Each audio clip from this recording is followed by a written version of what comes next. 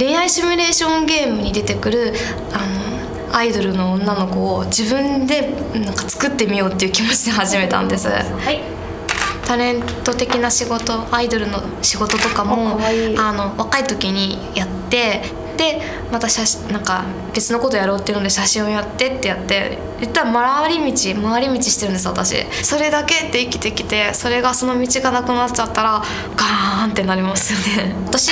もう一回夢を潰されてるのでいい感じです。だけどいろいろ経験してたら何かつながるんだなと思っていろいろやったけど全部無駄になってないような気がするなって最近思います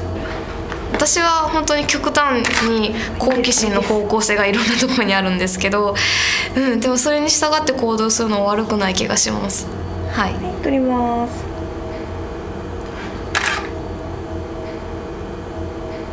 女子100人渋カル祭り